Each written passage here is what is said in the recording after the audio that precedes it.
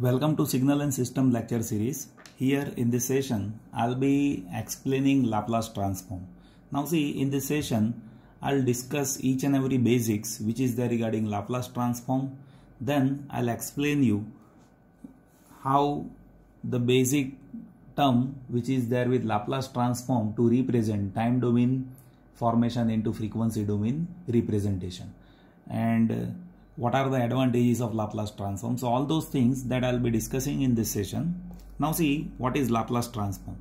So Laplace transform that is a tool which is used to represent given signal in frequency domain. So Laplace transform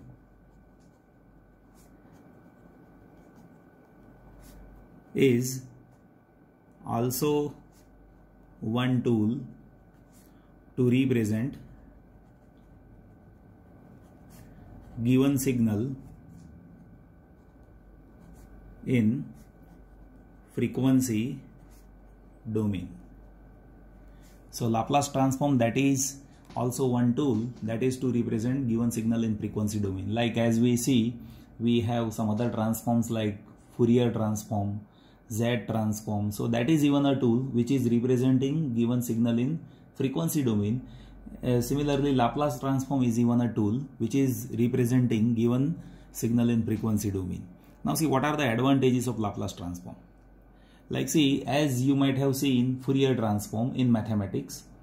Now see Fourier transform is not possible for some signals where it is possible to have a calculation of Laplace transform.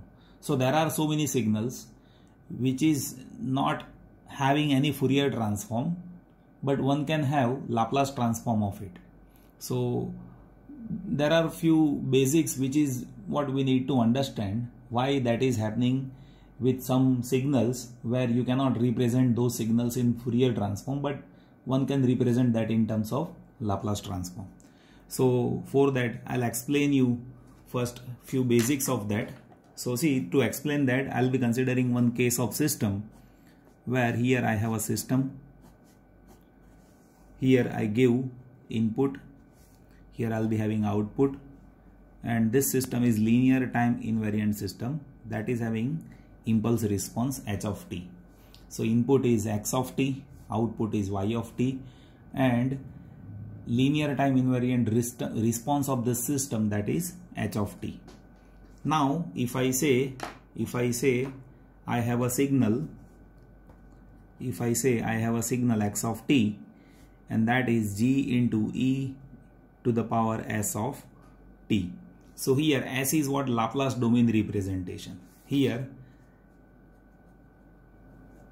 s that is s plane. So in Laplace transform we explain frequency in terms of s plane and this frequency s is equals to real part plus imaginary part. So in Laplace transform, we have a frequency that is there with the combination of real part plus imaginary part.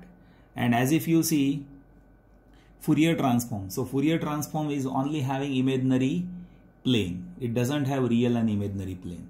So Fourier transform has only imaginary plane while in Laplace transform we have real plus imaginary plane. So this is what the difference which is there in between Laplace transform and Fourier transform. So Fourier transform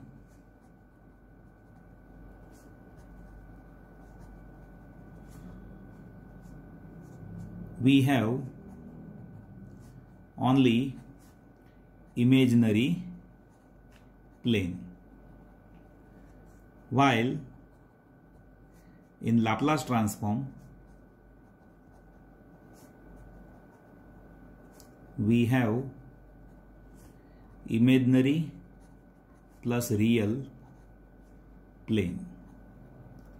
So that's why there are so many signals which we can represent in terms of Laplace transform but it is not possible to represent that in terms of Fourier transform. So this is the basic difference which is there in between Laplace transform and Fourier transform. So this is one advantage which is there with Laplace transform. That's why we prefer Laplace transform over Fourier transform. Now I'll explain you how we can obtain formula of Laplace transform.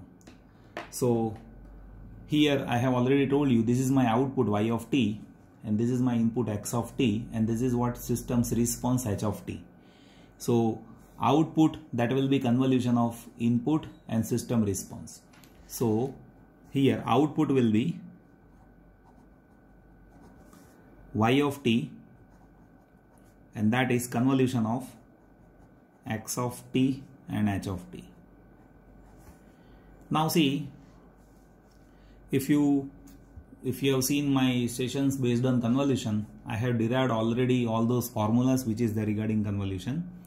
So this convolution that we can represent that in this basic formula integration minus infinite to infinite h of 2 x of t minus 2 d2 one more formula that we can have it for convolution that is x of 2 h of t minus 2 and one can have this integration even h of 2 x of t minus 2 so both formulas are correct for convolution.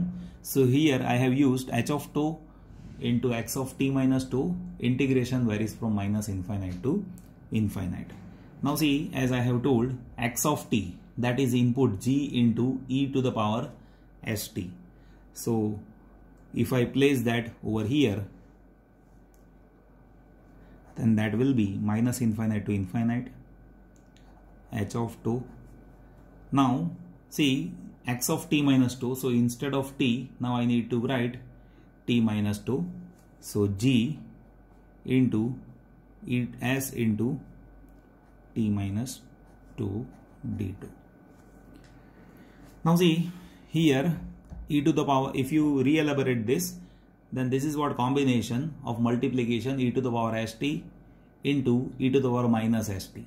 So if I re-elaborate this signal then you will be finding it is h of 2 into g into e to the power st into e to the power minus s2 d2.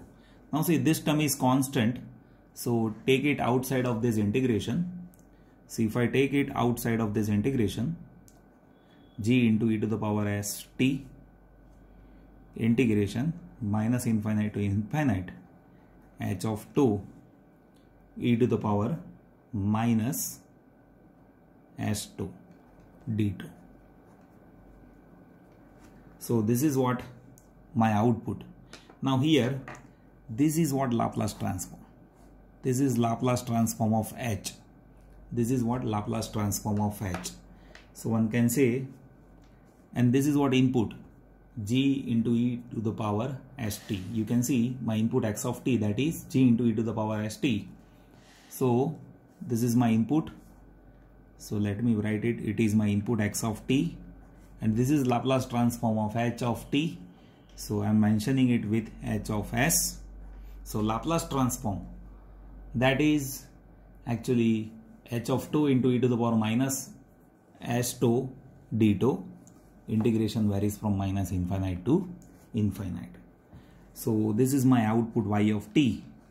That is x of t into h of s. So from this from this we can say h of s that is y of t divided by x of t and that is even one can say in terms of frequency domain representation this is y of s divided by x of s. So this is even essential property which we can utilize in solution of examples.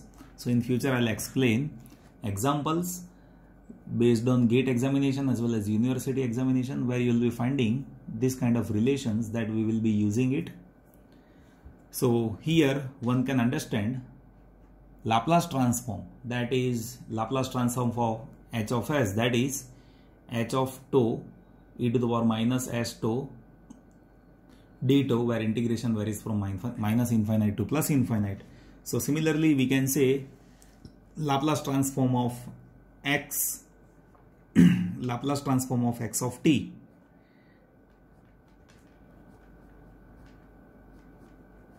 so that is x of s and we can represent that by minus infinite to infinite xt e to the power minus st dt.